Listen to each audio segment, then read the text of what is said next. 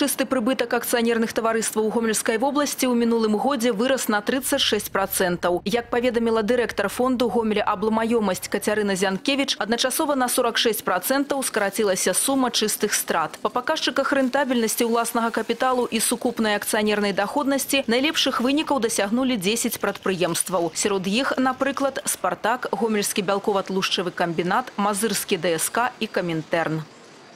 На Гомельшчыне няма значных праблем з набыццём грамадзянамі зямельных участкаў для жыллёвага будаўніцтва і вядзення садаводніцтва. Так у гомельскім раёне вызначаны 127 таварыстваў, дзе можна набыць зямлю праз аўкцыён. На сённяшні дзень у іх прададзены пакуль толькі 22 участкі. Прыкладны кошт адной соткі 670 рублёў. Разам з тым шанс пабудаваць індывідуальнае жыллё ці садовы дом выкарыстоўваюць не ўсе. Нават калі знаходзяцца сродкі для набыцця участка, іх можа не хапіць для далейшага будаўніцтва. Гэта, дарэчы, тычыцца і сем'яў з ліку ільготных катэгорый. За два апошнія гады толькі землеўпарадкавальная служба гомельскага гарвыканкама канфіскавала больш як 300 участкаў, дзе не праводзіліся адпаведныя работы.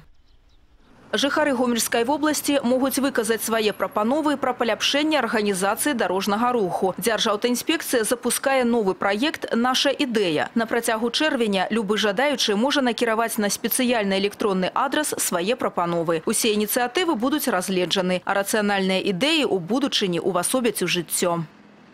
Гарадскі транспарт у Гомелі перайшоў на летні графік. На многіх маршрутах стане менш рэйсаў, а некаторыя на тры месяцы прыпыняць працу. Так на лета адменены аўтобусны маршрут нумар 48. Радзей будуць хадзіць тралейбусы нумар 8, 17 і 25. Паменшыцца лік рэйсаў па буднях і на 14 аўтобусе.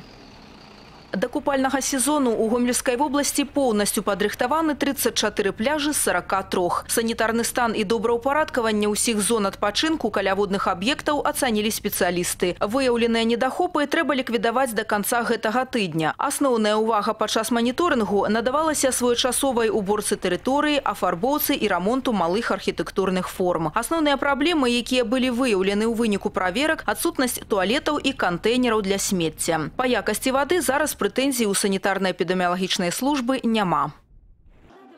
Сёння адзначаецца 218 гадоў з дня нараджэння вялікага рускага паэта, празаіка і драматурга Александра Пушкіна. Гэтай падзеі будзе прысвечаны сённяшні вечар у літаратурна-музычным салоне Гомельскай абласной універсальнай бібліятэцы імя Леніна. Мерапрыемства пачнецца ў 18 гадзін. У ліку гасцей народная артыстка Рэспублікі Беларусь Людміла Корхава, вядучы майстар сцэны Александр Лаўрынович і іншыя. У бібліятэцы прагучаць галоўныя біяграфічныя факты, творы і рамансы на вершы Пушкіна. Пушкина.